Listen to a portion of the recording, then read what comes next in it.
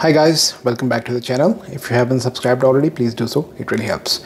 As you can see on the screen right now, uh, these are the two testers we looked at in the last two videos. So this is what I have, and this is the latest and greatest gizmo that I have the, um, in this field, and I absolutely love it. And today we're going to talk about this. So I'm just going to take away the old stuff from my uh, table, and we are going to talk about this device called the Power Z it's made by a company called Charger Lab and this particular model is the KM003C. Uh, it has the HID port that we saw in the previous two uh, devices but this one is USB-C instead of micro USB and then we have a four button uh, navigation interface and this is what the keys do. Let me bring it closer so you can see forward, backwards, selection. Uh, sorry, my bad. So forward and left and right uh, OK and then one step back. So these are the way you navigate this device. Alright, so I'm going to plug the HID port. So by the way, the same HID port can be used to connect it to the computer and this one also has a computer app. This model that I have does not have Bluetooth. I'm not sure if they make one that has Bluetooth. But yeah, you can use this port to provide it auxiliary power like I'm about to do right now, or you can use it to connect to the computer. And the computer app is actually quite well featured this device, by the way, has the G sensor that we saw in the U2 and you can use it to rotate any way, any which way you like. So we're going to go through the pages. This device has a much, much better navigation uh, and the menu design than the last one we looked at, the I use uh, TC66C. So this one is much, much better than that. So we're just going to go through the pages. This one is a graph. And then you have uh, the settings and the uh, advanced um, functionalities pages. We'll come back to this page in a few moments. And then here you can uh, use the data logging functionality to, to collect data about the, the charging curves and the capacities of batteries and whatnot. All right, let's delve a bit deeper into uh, the advanced functions. First of all, you have this uh, charging protocol page. So this allows you to test your chargers you can plug this directly into a charger without a cable and in that case uh, you can tell it to spoof or uh, simulate that it has uh, an e-marker chip built in. So this is the cable simulation menu. You can tell the charger it doesn't have e-marker so that's when it will be limited to 60 watts. You can tell the charger that the, and the cable that this is trying to simulate is capable of 100 watts 240 and a bunch of others.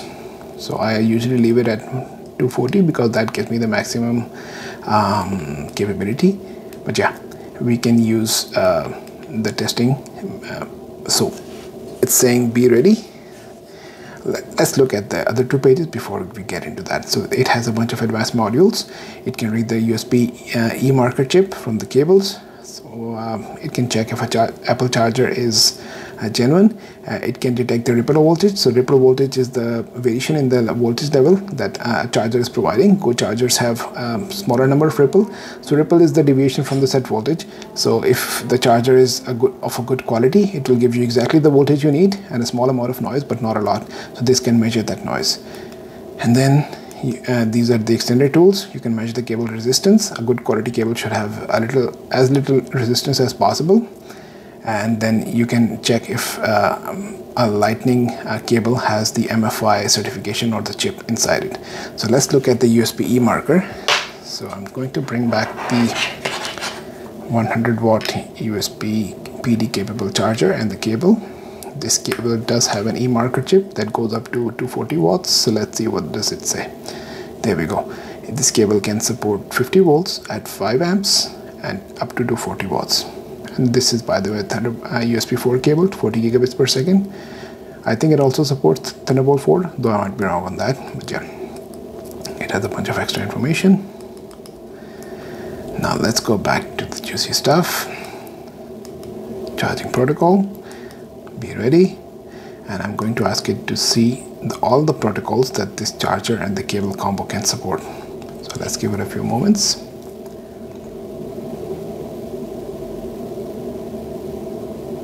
depending on what kind of phone you have some phones will support AFC that's Samsung. Some would support FCP I'm not sure which brands do that.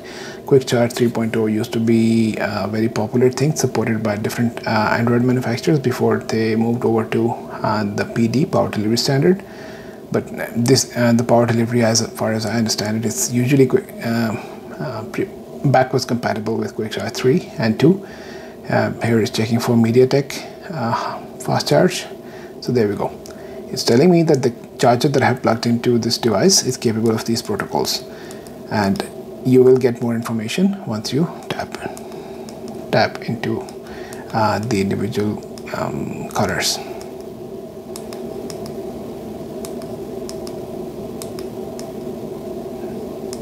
As you can see the interface on this device is much much better than the last one we looked at.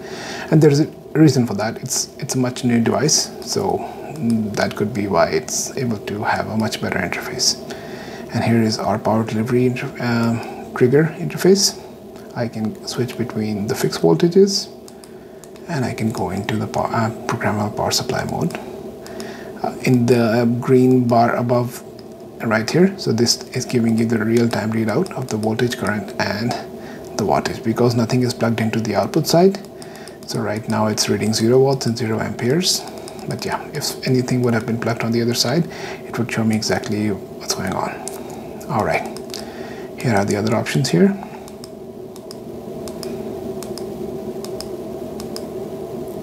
Now we're back to the top. By the way the other devices that we looked at they did not have this small UI element that you can uh, go back to the top once you reach the last um, item in the list. This is such an underrated feature, but, but I really miss it in the devices that don't have it. So let's go back here and look at the V-Bus Ripple. It's doing the measurement. Let's give it a few moments. There you go. You see, it, it's telling you, even though right now it's not a fair way to measure ripple because we don't have a load on the other side, what it's telling me that it's um, it's get, seeing a ripple at 2 kilohertz on um, which is up to about 2 millivolts here I can change the resolution so I'm basically telling it to take more samples uh, up to 8 megahertz and you see it's picking a bit, a bit, a bit more ripple than before uh, by the way uh, just looking at this page you can change the refresh frequency of the data that you see here. Right now it's 50 samples per second. Then you have 1000 samples, 2 samples, 10 and 50. I usually leave it at 10. That's more than enough for what I need it for. But yeah, you can change that. So yeah, this has been one of my favorite one of my most favorite gadgets when it comes to testing power supplies and USB uh, power delivery uh, chargers and the best part about this is I don't need to use a cable to test the charger. Some of the char and some of these devices uh, absolutely need you to have the cable uh, before you can test the charger. So this one you can use it without the cable. Secondly you don't need the HID cable uh, or the HID power to test the chargers directly. So uh, it has a capacitor on the inside. That's why you saw it uh, counting down and, and it um, it basically allows it to save the data if you plug it in plug it out of the charger unexpectedly.